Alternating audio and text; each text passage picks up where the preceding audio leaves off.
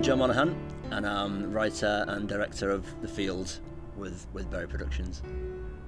Hi, I'm Callum Smith, and I'm a co director of The Field, and I also star as Eddie Jenkins. Hello, my name's Kane and I'm playing Jacob in the new film called The Field. Mine is Matthew Duncan and I play Max in the field. Hi, my name's Jade Thrustle and I play the role of Sarah in the field. Ben Wade, sound recordist for Berry Productions. What do you believe? Oh, for a long time I would have said that the field itself killed the poor boy. But of course that challenge didn't help matters at all.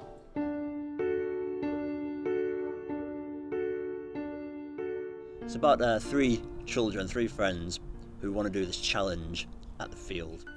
The challenge is basically what the, the field revolves around. The challenge is at Old Joe's Field, and um, it's been going on for generations. So where are we? If this is supposed to be the cool place we're taking us to, it doesn't look very cool to me. This is Old Man Joe's field. Who's Old Man Joe? Old Joe is like a farmer and he used to live there like ages ago. And one night his son went into the field and apparently his screams uh, woke up the whole village and his body was never found. And this challenge goes back generations. And the, the, the challenge is at the dead of night, you go and stand at this field, at this fence, and whichever child can stand the longest at the fence before they run away scared is, is the bravest. You just have to stand there, but you hear all these weird noises because you have to always be there when there's no lights and it's darker than black itself.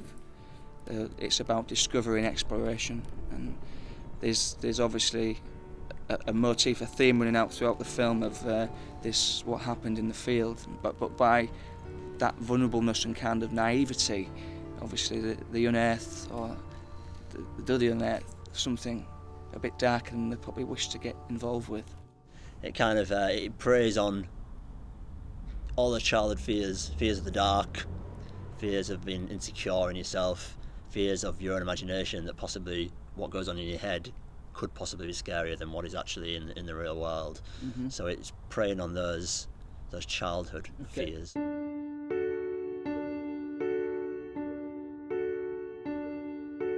Um, I can't watch scary films, so probably like 30 seconds. Uh, I think it lasts about 10 seconds. Uh, I think I'd last about 20, 15 minutes. I'd like to say I'd probably do four minutes and 23 seconds as a as a as an estimation. I've already done the challenge. The challenge is actually real. Old Joe's Field, maybe he's made up, possibly. But the challenge is real. I've done the challenge.